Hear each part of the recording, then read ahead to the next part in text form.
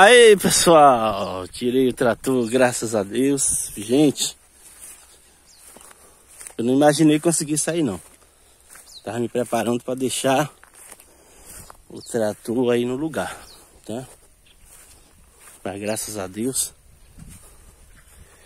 Eu sinceramente não sei como, mas brotou a força do bicho. Tirei o arado. E aí falei, vou tentar para frente. Não imaginei que sairia pela frente. Mas aí pedi força a Deus. Deus me ajuda aqui.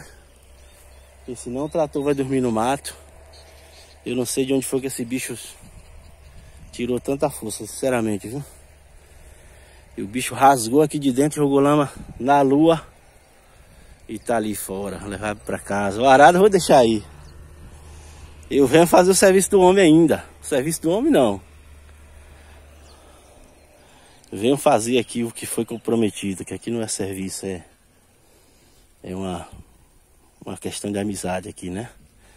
Aqui não está envolvido vantagens econômicas. Tá aí, graças a Deus, tirei.